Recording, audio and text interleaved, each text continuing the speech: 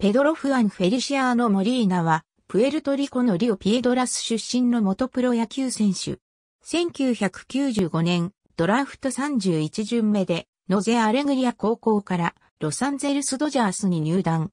最初の4年間は、ルーキーリーグや A 級で投げていたが、1999年は肩痛に苦しみ、シーズンを棒に振る。翌年からは AA 級、トリプル A 級での登板もあったが、メジャーリーグに昇格できないまま2001年10月15日に FA となり、11月19日にシンシナティレッツと契約。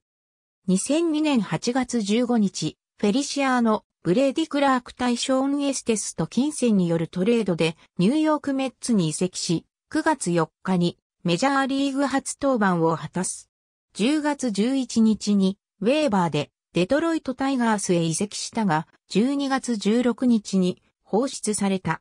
2003年4月3日にメッツと契約したが、以降2年間はトリプル A 級での登板が主になり、メジャーに定着するとまではいかなかった。2005年1月24日に福岡ソフトバンクホークスに入団。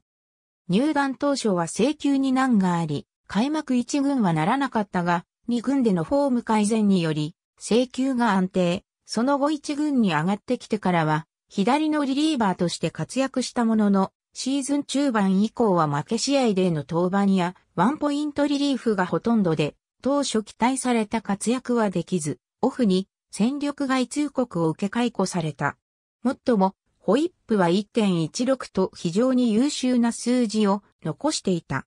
2006年2月28日にメッツに復帰。同年のワールドベースボール、クラシックペルトリコ代表に選出されるなど、復帰後は主に中継ぎとして活躍。2006年の地区優勝や2007年の地区2位に貢献した。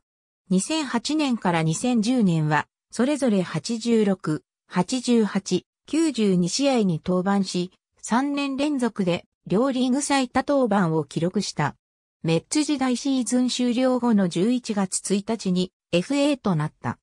2011年1月3日に、球団が2013年の選択権を持つ2年契約総額800万ドルで、ニューヨークヤンキースに移籍。しかし、肩痛を再発させ、2011年のシーズンを棒に振った。2012年も登板することはなかった。結局、ヤンキースでは2年間で登板することもなく、11月3日に FA となった。2013年1月21日にフルス、メッツとマイナー契約を結んだ。10月31日に FA となった。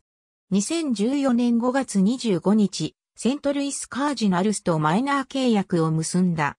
2015年2月4日にシカゴカブスとマイナー契約を結ぶ。ありがとうございます。